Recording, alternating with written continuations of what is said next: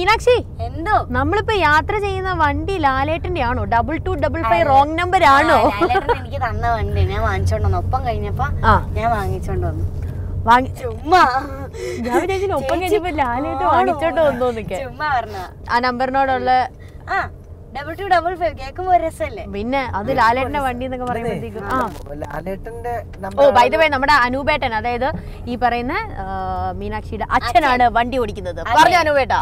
അതായത് നമ്മുടെ ലാലേട്ടന്റെ വണ്ടിയുടെ അല്ല my phone number is double two double ആ ഡയലോഗ് ആർക്കും അറിയാൻ വയ്യ ആ, അപ്പൊ ആ, പുള്ളിക്കാരന്റെ വണ്ടി- വണ്ടിയുടെ നമ്പർ ഡബിൾ ടു ഈ ഒപ്പം കഴിഞ്ഞപ്പോ അതായത് ഈ ലാലേട്ടന്റെ വണ്ടിയുടെ നമ്പർ അതാ. അപ്പൊ രണ്ടാമതൊരു വണ്ടി ഇങ്ങനെ എടുത്തപ്പോ രണ്ടുപേര് ഷൂട്ടിന് പോകാൻ തുടങ്ങിയപ്പോ ഒരു വണ്ടി കൂടെ അത്യാവശ്യമായിട്ട് വന്നു.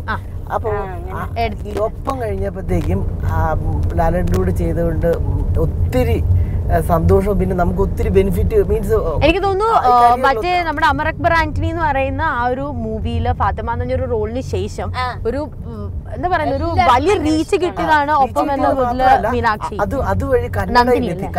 അതുവഴി കന്നഡയിലെത്തിയായിരുന്നു അത് കഴിഞ്ഞിട്ട് ഇപ്പൊ ഹിന്ദി ചെയ്യാൻ പറ്റി. ഇതെല്ലാം ഈ ലാലേട്ടന്റെ പടത്തിന് ശേഷം സംഭവിച്ചതാണ് വിശേഷങ്ങൾ ഇഷ്ടം പോലെയാണ്.